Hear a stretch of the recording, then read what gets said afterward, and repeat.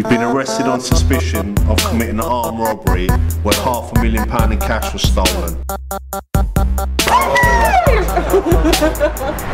guys, it's sorted. Let's go to Amsterdam.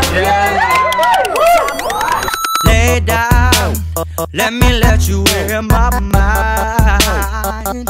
I'm a freak inside. I'm not doing it. I'm not gonna do it. Yeah, basically you just put your stilettos on, you run as fast as you can. If you run fast enough, you win 50,000 euros. Let's get low. You've already got a lover, but it's all good. And what your name? I'm Yasmin, and we're here to enter the competition. You like no other fucking no. I break every taboo. You want us to steal it? See what you doing? Get back!